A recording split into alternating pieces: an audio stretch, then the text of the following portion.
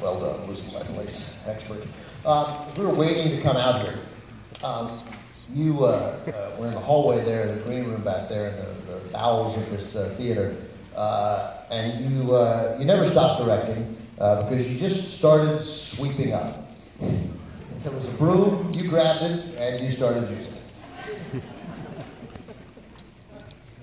Well, it's always, you know, these beautiful events. You come out and bask in the, in the presence of the public, but in the back, it always looks to me like a place where the assassination is going to happen. so at least I try to sweep up so the pictures will look good. uh, always thinking about the story. So um, I, I, think to understand uh, the conversation uh, fully, I think people need to know where you were uh, in your career. So uh, two years earlier, Robert Evans asked you to direct The Godfather. Why do you think he did that? Well, of course, The Godfather was was not a sure thing by any means in those days. There had been a few movies, I think one called The Brotherhood, that told the story of an Italian-style gangster organization. It hadn't done well. And, and uh, so it wasn't as though The Godfather or, or a mm-hmm. movie of that type uh, was, was really necessarily a good move. And a lot of directors turned it down. And Costa Gavras turned it down. I think Peter Bogdanovich turned it down. Several people turned it down. And certainly the great Elia Kazan had turned it down. Uh, and um, the script they had of it wasn't too great, I remember. At any rate, I had made a film called The Rain People, which I had written, and it was promising. thank you. I like The Rain People. It was, you know, the kind of film I, I really was interested in making. I wanted to make personal films that I wrote from scratch, the story as well as the screenplay. And I got to do it with The Rain People, although it wasn't very little known. But uh, a couple of people had seen it and thought it had a wholesome promise. One of them was Peter Bart, who was the head of production, associate of Bob Evans, and I think he brought the attention to Bob Evans. Uh, and, and they looked at the situation. A, I was a screenwriter, or I was making my living as a screenwriter, so they felt that the script needs some work that I, I would be able to pitch in and do it without a separate fee. Secondly, I was young and unproven, which meant one thing, maybe I would have some knowledge of the new equipment that was beginning to find its way in the film business, but more important, I could be pushed around. and thirdly, I was Italian American, and there, there had been some echoes of, oh, this Italian characters, Italian gangsters were you know, something of a cliche and, and might be offensive to the Italian American uh, community at large, and, and it could be blamed on me because I was. so I think those are the reasons why I got the job. And then uh, you did uh, you did okay with it. Um, uh, it does, you know, pretty well. And um, and then naturally, just being Hollywood, they come to you and say, okay, well, we're going to do it again we want to do The Godfather 2, and then all of a sudden you had some leverage. That's true. For the second film, the first film was so, such a nightmare for me. I, I had two sons and my wife was pregnant. I had absolutely no money. And uh, they, to say they weren't happy with what I was doing and my decisions and choices, either in the way I wanted to make the film and nor the actors I wanted, I really was waiting to get fired every week on The Godfather. I know you've heard that story, but it's pretty much true. And several times I thought I was fired, uh, only to discover that uh, they were going to stay with me. Um, so it was such an unpleasant experience to be unwanted by the management for so long that there was no possibility that I would want to do a second film. I wasn't that interested in gangsters. Uh, I was thrilled that I had, you know, as we say, as Mario Puzo, the wonderful Mario Puzo who wrote the book, that I had dodged the bullet, as he used to say. because I really thought the film was going to be a, a disaster. Mainly from the reaction of the, my own studio that was producing it. They were so unhappy with everything I was doing. They didn't like the casting. They didn't like Al. They didn't like Marlon. They didn't want Marlon. it sounds funny, but you know, gotta always look at these things in context of the period. And you know, the, the, Marlon had been in a film called Queimada, which was not successful, and he was supposedly very difficult and, and, and uh, would cause the production lots of delays, and which, which had which didn't turn out to be but to make a long story short, I, I said I absolutely do not want to do it, but I think I would be. I like Mario Puzo very much. I, I, I absolutely uh, was. I enjoyed so much working with him. He was such a, a wonderful man. And I said, I'll work on a script for a second Godfather, and I'll even uh, help out as a kind of associate producer, but let's choose a younger director, because I just didn't want to go through it again, you know? And uh, they said, well, okay. And when the time came, they asked me, okay, who is it that you have chosen to do the second Godfather? And I said, well, he's the director named Marty Scorsese. And they said, absolutely not. That's a terrible idea. So that was sort of the, the, the tenor of what was. So little by little, we did make a deal. It, you know, I said I want to have total control, hence the power. I wanted a million dollars, which was fantasy number, you know, to toss out just a shotgun, but they said okay. the third condition I gave them was that it had to be called The Godfather Part Two. And this was the sticking point. They did not want to have a movie called Part Two. They felt that that would be confusing to the public. Public would think that it was the second half of the movie they had just seen. I've never been an American movie called something Part Two. But finally they gave into it, and, and then of course there was a series of part two, part three, Rocky Five. yeah, I don't see a lot of people passing on Rocky Five because they were worried that they didn't know what would happen in the first four. um, your stories don't reflect terribly well on management at Paramount, but, uh, uh, but part of the deal also was that you said, "I, you got to let me make the kind of movie that I originally set out in this business to make," and you made the conversation contingent on your deal, correct? That is true, but I didn't say that. In other words, I I uh, squeezed the conversation in without making that a stipulation, but they were being nice to me to allow me to do this script. But I, that wasn't one, in truth, that wasn't one of the conditions. But you knew you had them over a barrel, and if you said, I'm gonna make this movie, they weren't about just that it just gave you a million dollars, they weren't about just that.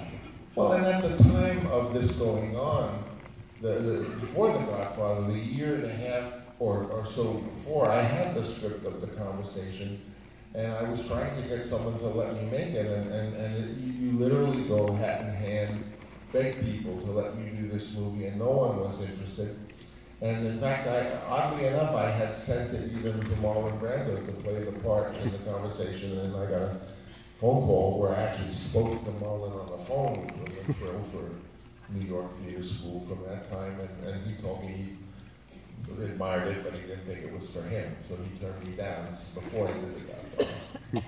So, um, so with this ability to make the conversation you mentioned before, like with the Rain People, the movies you wanted to make were movies that you conceived of, you wrote, and you directed, like the conversation, not a big project like The Godfather. Right. I mean, I think anyone around the movie business knows that excuse me, the heavy lifting is in the writing of it. I mean, if someone's written a book or a play, they've already done the hard part, and for you, sometimes it's tricky to adapt it because it doesn't lend itself immediately. In the case of The Godfather, it's quite long, and you have to figure out ways how to get it all into an hour and a half or, or, or what have you. In fact, a lot of time that leads to very creative solutions. And in The Godfather, just as a note, the ending where there's the baptism intercut with all the murders of the uh, opposing families, that was something I came up uh, with Not because I thought it would be especially dramatic, but because I was trying to figure out how to take 60 pages of the novel and put it into four pages of the script. The baptism ceremony. So sometimes the act of adapting a novel can, can be very creative thing. But generally speaking, it's really hard to write a story from scratch and a lot easier to adapt one that already exists. What interested you about this story, about the conversation? Well, I'll, the truth is, number one, I had seen a film called Blow Up. And I just thought Up was a beautiful. Thank, thank, thank you for Michelangelo. But uh, thank you also for also uh, appreciating that film. And I just thought that Blow Up was the kind of movie that I really wanted to make, that it was personal, that it was also uh, you know, mysterious and had narrative uh, drive. You were interested in what it was, and yet it was a, a, a personal one. In those days, the younger filmmakers, you know, in our twenties and early twenties, wanted to make personal films. That was because we had been imprinted by all the films that had come from Europe. Uh, so when I saw Blow Up, I was just so impressed. And you know, when you're young, I think it's okay to sort of follow in the direction or imitate someone you admire because you really can imitate them. You're going to try to imitate them, but you're going to end up with what you can do. So I set out to, uh, to do a, a, film, and I had been having a conversation with a, a, director you may know of named Irvin Kershner, who had done the second Star Wars film. Who's an older guy and, and very, very nice to us younger uh, fledgling directors, and I was talking to him about how interesting it was that there was technology now, microphones you could put across a city block and aim at the mouth of a person and then actually get that person's conversation. And wouldn't it be interesting if there was a mystery story in which some parts of it were left out and you had to piece together what was really going on? And you know, what is so meaningful to a younger filmmaker is that he was encouraging. He said, yeah, that's a good idea. You should, you should try to do that. Uh, and, and so I, I, with the vision of wanting to do something like Michelangelo was a blow up, and with the fact that Irvin Kershner had encouraged me from my surveillance, I, I began to try to write it and didn't exactly know what I was doing, but when you write very often, you don't know. You just set off on telling the story as best you can. That's what I did, and I wrote the script. It's uh, tricky with a movie like The Conversation, so I'm going to do something, and the lights are such in this theater that I, can't really see you guys. So, will the people who have not seen this movie please applaud?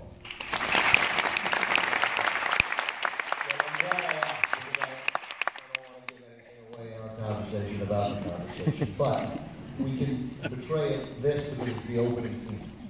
Um, that opening scene of recording the conversation that then becomes the focus of the film, really, uh, was is an amazing thing to look at, and an amazing thing to hear, and much of this movie is about what you hear.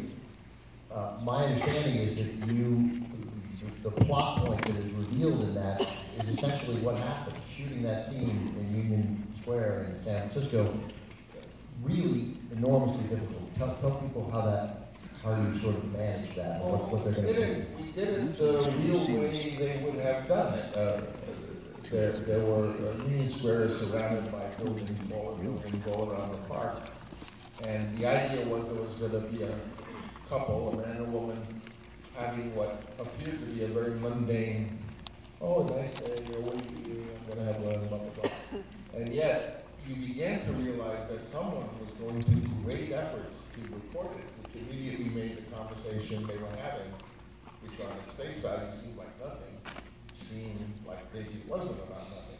And he actually put the cameras on these tall buildings with special microphones and zoom lenses to, in effect, shoot the scene as if we were really doing this surveillance job. And, and, and I had done by then a lot of research, and there would be other ways you would have uh, someone on the ground with a recorder in a shopping bag trying to get as close. In other words, you would use three, four methods on the theory that some would get some parts of it, some would get other parts of it, but you might get a majority of what they were saying through diverse means, and then later on they would all be put together. So that's how it began, and that's how it did. And you'll see it's quite a remarkable uh, uh, piece of filmmaking putting together that, that first scene in the conversation. We're introduced there to uh, uh, the star of your film, uh, Gene Hackman. Um, and he, was Gene Hackman ever considered for a part of The Godfather? No, but of course, after The Godfather, uh, you know, the actors, the New York, they were all friends. Gene Hackman had been a good friend of Bobby Duvall. They were roommates. Gene Hackman, Bobby Duvall, and uh, and Hoffman, Dustin Hoffman, all lived together in New York. And, uh, and, and so Gene Hackman was enthusiastic. He had done so well in a film that inspired me greatly, Bonnie and Clyde, uh, great movie by Arthur Penn. So, uh, so I, um, uh, so I found Hackman anxious to participate in it, you know, after after The Godfather. In reading about your, some of your comments about this film, uh, you, you, you, Gene Hackman, you say it's a lovely, uh, affable, uh, easygoing, likable guy, good-looking guy. The world is at his fingertips at this point.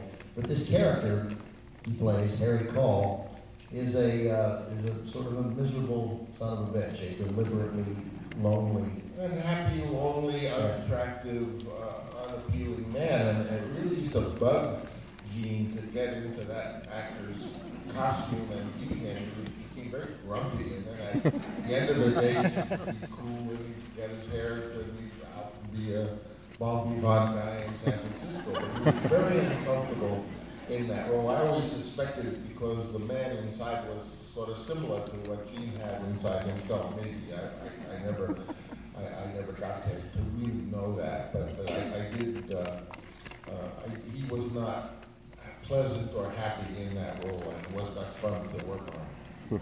Uh, but delivers, of course, an amazing performance. Turns out that doesn't. That he later told me that, that I would, would have thrilled that he would tell me. He later told me that it was the favorite performance he had ever given.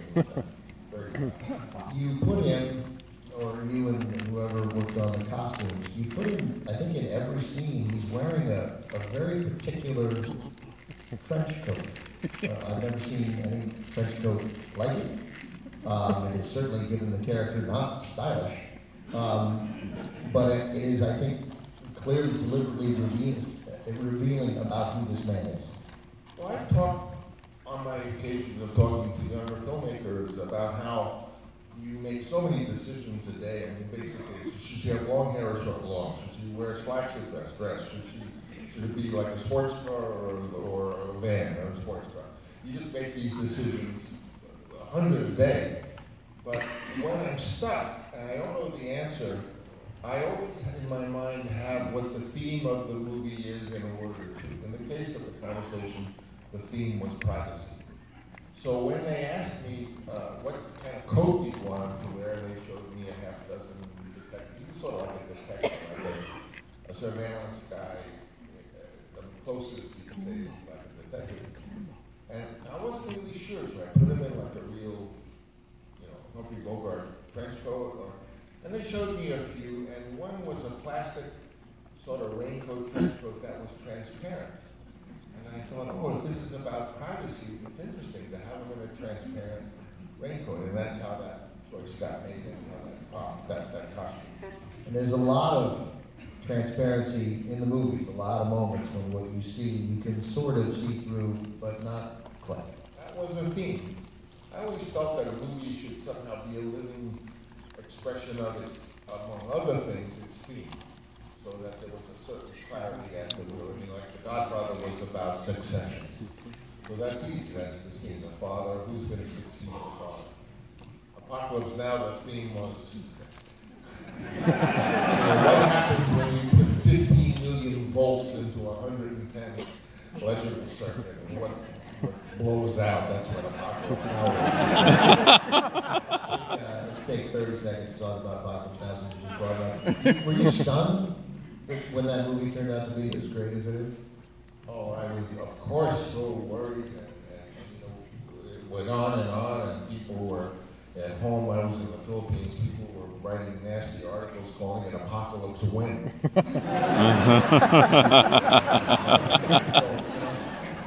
you can't say that during this wonderful period, oh which I think in retrospect was wonderful, where I made all these movies in one you know, five, six years, I was a very musical, depressed, insecure, worried person. Granted, The Godfather had been somewhat successful, but, but Apocalypse was greeted by very uh, iffy reaction. So I mean, it's the nature of a young, a young writer, a young filmmaker is by nature uh, frightened and insecure, and that's it's important to tell everyone out there uh, struggling with their scripts. Uh, I've told young writers that I believe when you're working on your script, there's a a hormone generated that makes you hate whatever it is you're writing.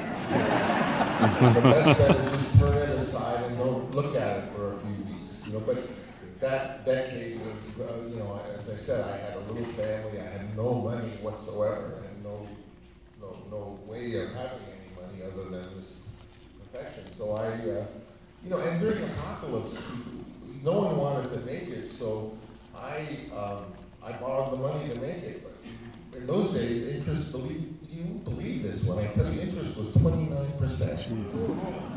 This was during the Carter years. 29 got up there. 17, 18, 20%. It was terrible. And I, there I was, this kid from Queens, I owed $32 million. and, and, then when Apocalypse came out, it, it got some reviews. I, I, I, read one, remember, you know, a man named Frank Rich, he's a New York. He said, Apocalypse was the biggest disaster of the musical movie industry in the last 50 years. And I'm thinking, well, isn't there anything worse than that? the reading of one movie. Has he changed his mind on that? I, I don't, I don't, I don't know that he did, or, or, or that he should. You know, the truth of the matter is, when in, the arts, uh, you're taking chances and you're, you're experimenting with what you think it ought to be.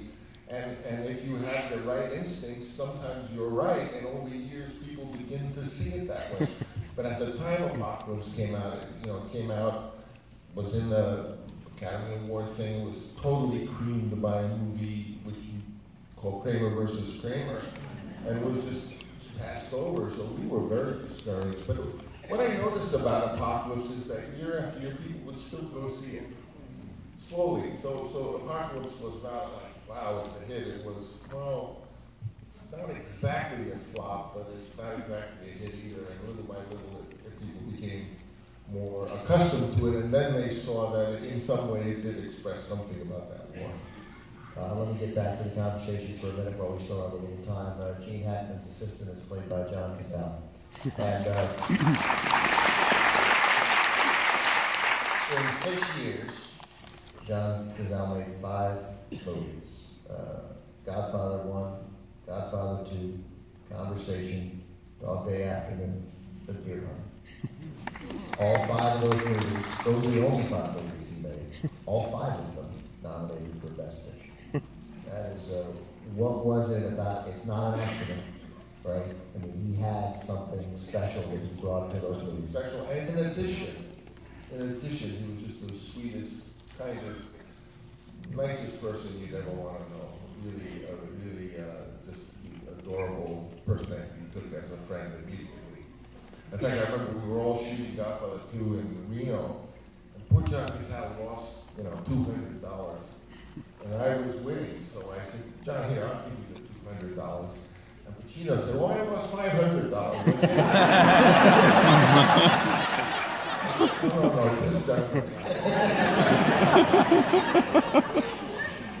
um, you uh, you mentioned uh, the Godfather story, succession, fathers and sons, and, and, and given the closeness of your family, you've referred to your family so many times.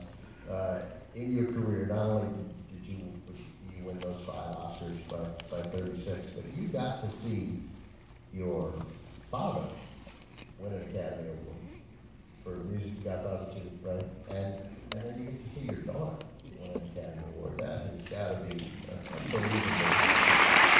Thing for a father and, and my nephew, Nicholas, and your nephew, Nicholas, oh. yes, Academy Award nominated. And your son, and, and you know, and Roman does the intro being very close with, uh, with uh, what was that film? With my favorite? With uh, Wes Anderson, the Moonlight, uh, yeah, uh, uh, Moonrise Kingdom. I love that. Uh, and uh, and now this uh, television show he has, uh, uh, uh, Mozart, Mozart was so inventive, so spectacular, and critics love it. So that's got to be, given how important family is to you, that has to be just unbelievably gratifying. Well, I think those two parts of that sentence also uh, have an effect on it. The fact is that when they were all little kids and they were all coming to Napa for the summer, or they were like young teenagers, I was okay. This summer we're going to do, we're going to have one act play summer. So what's one act play summer? We're all to do one act plays. We want to fish or we want to swim. We don't want to do one act plays. And I literally had set up a barn where they all did directed one act plays. and so they had that kind of uh, context. And also I had a rule very different than what it is today, is that if I were going to go on a, a, a, job, an assignment, and, they, and be away for more than two weeks, that meant the kids were getting pulled out of school and they were coming with us, which today is very difficult to do. So that meant they had all these experiences on these movie sets, sometimes in, in, in strange, interesting In locations. of school. Right. But they, you know, the uncle, the, the people uh, on the production, Dean Tavoularis and all of the extraordinary people, with the uncles and aunts, and they would go, Sofia would go to the costume department and they would make clothes for her dolls and her doing makeup. You'd see him come with a blood hit in his head. oh, look, Dad, I got shot, you know. so, so they really were like a, a, a circus family where the kids, the kids were learning this stuff. I mean, I did put them in school. I put, I put Sofia in a Chinese school so she could she could sing songs in Chinese and count in Chinese. But uh, that, you know, I don't know what she got, but what they got out of it was being on the films. Um, I think we all like the image of a six-year-old child stamping their feet and saying, Daddy, I want to do a one-act play. Kids are always saying stuff like that. And then we, we have to go, but I, I've had the pleasure uh, three times now of interviewing uh, Roger And uh, Roger tells a very funny story about one of the first movies he directed, uh, uh, if not the first, uh, Dementia 13. Yeah. Yeah. And, um, uh, do you recall uh, how the name, because the movie was called Dementia. Well, he he told me we were on a film called The Young Racers, and, and we knew that whenever Roger, I was an assistant and sound man, and we knew that whenever Roger went off to make a film, which usually American International Pictures would pay for everything, he'd slip in a second film since all of those resources and, and, and, and equipment was already there. He'd make a second film, which he owned. And uh, we, we knew that, that there probably would be a second film because we had the cameras and the trucks and everything out there. So we also knew that Roger was going to come back and do a film which I think turned out to be a wonderful film with Boris Karloff and Peter Lorre. I think it was called The Raven. Yes. And he had to go back and make The Raven. So a couple of the guys on the show said, "Oh my God, if he doesn't, he's not going to make it. Maybe if I write a script, I can get the equipment and, and get him to let me make a movie instead of him making because he has to go back LA." So that's what I did, and I wrote something. He, I knew he wanted something like uh, William Castle's Homicidal, and that he would call it Dementia. So I wrote the first 20, 30 pages of that, trying to hook him. And then he, I did hook him. And he said, okay, go do it. Because I would call it Dementia 13. So then every 13th of every month, we could release it specially and say, okay, Dementia 13 on 13th. He told he told me he told me what this is true. I love hearing the same story from two different guys. He told me that they found there was already a movie called Dementia, and he was like, "Well, what if we just call it 13?" And ask you, "Can you make somebody 13 in the movie, and then we'll just call it Dementia 13?" Well, I know he did, he did, but the reason he was that it would be good for the 13th of every month. Well, um, it is. to say one last thing about the conversation, Yeah. I may. The conversation is an interesting story. Folks, have many of you heard of the phrase called sound designer? No. Uh, I'm going to tell you where that comes from. So, uh, when we were doing, uh, when we were about to do the conversation, a colleague of mine, someone who's a wonderful talent and uh, was one of George Lucas's USC buddies, named Walter Murch, who was a wizard, a wizard in sound. And I had this idea to have Walter Murch actually be the editor, who was pretty much known as a sound editor in those days, but be the editor of uh, the conversation, and he, he did that. But we were having trouble with the union because they, he was in the union, and, and he absolutely, uh, we said, well, he's going to do the sound, the sound. And they said, no, no, no, he cannot have the title editor. He can't be sound editor or any kind of editor. So uh, I went to Walter and said, Walter, you can do it, and you should do it, but you can't be editor. He said, well, call me sound designer. and that's where that phrase came from.